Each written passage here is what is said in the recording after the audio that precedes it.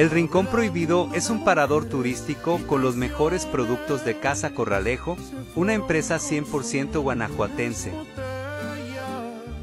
El nombre de este lugar tiene que ver con una bebida que se enviaba ilegalmente durante la conquista. Era una especie de ron llamado chiringuito.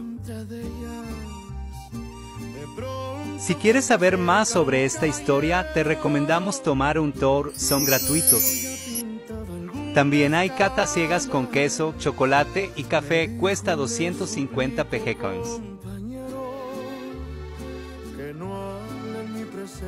Mientras que los horarios de apertura son de las 9 a las 17 horas. Si te gusta nuestro contenido, no olvides decir que lo viste en México Ruta Mágica.